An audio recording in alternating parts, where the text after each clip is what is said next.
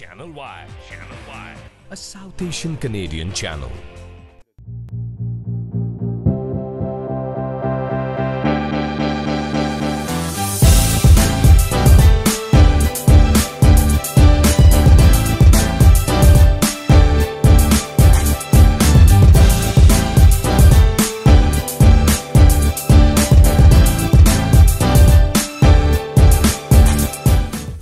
We're very honored to have Mr. Jaswal here, so please join me in welcoming Mr. Yudhvir Jaswal to the podium.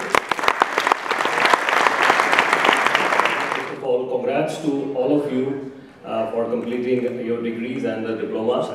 How many of you have seen the movie Three Idiots? Can you raise your hands? Wow. So now, so now this is the this is the first scene of that movie, and another 10, 15, 20 years from now, you will be at different places.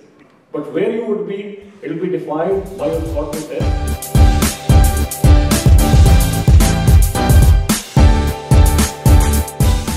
I came to this country around 17 years ago. Uh, I did my mechanical engineering from India and had very similar thoughts that you have. I just have a degree, just like you have a degree. I have a I had a degree from India, but uh, after a mechanical engineering degree, I was thinking, where would I fit into this country? Such a great country. So you can be a good engineer, you can be a good journalist, you can be a good politician, but I think the most important thing in your life, which should really guide you to your own passion and your own destinations, is to become a good human being. So remember one thing, do in your life what you're passionate, you'll excel in your life. And uh, make sure you have a nice life partner, though that's a tricky one, because that's again, thank you for that. Congratulations to our 2017 Cambrian College graduates. We're so honored to be here to celebrate you at the beautiful St. Lawrence Centre. Uh, it was also a, a great pleasure to have YBB here with us to congratulate our students and to send them on their way. So congratulations to you students. You deserve it. Channel Y. Channel Y.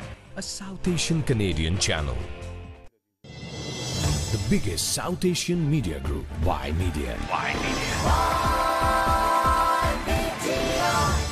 Media has newspaper, midweek, radio, South Asian Pulse, television. You are watching Channel Y. Channel Y.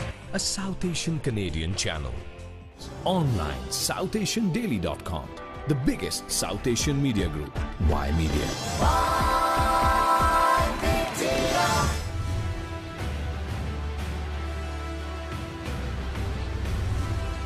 are watching Channel Y. Channel Y. A South Asian Canadian channel.